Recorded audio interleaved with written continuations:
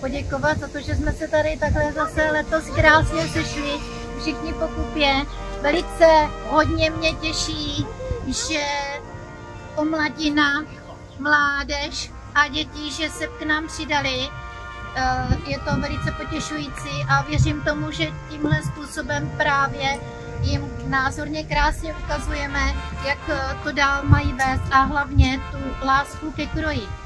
To je to nejdůležitější, protože pokud má človíček eh, v srdíčku ten kroj a tu tradici, tak potom už jde v uvozovkách všechno samo, což je úplně úžasné. A my to tady potřebujeme jako sůl. A jsem moc ráda za to, že těch dětí tady máme tolik, že se k nám přidali i ty ostatní, i ty, i ty co už jsou pryč a dříve bývali, což nás taky těší.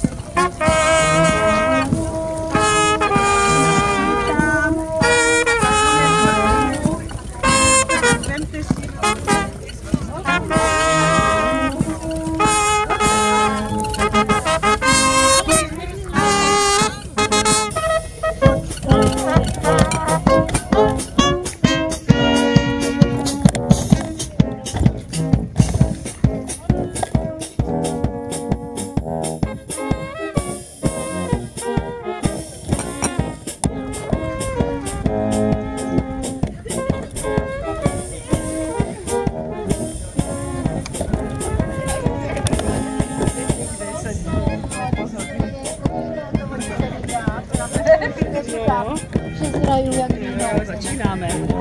Které Mimi to má rádo, že? No, které Mimi to má rádo.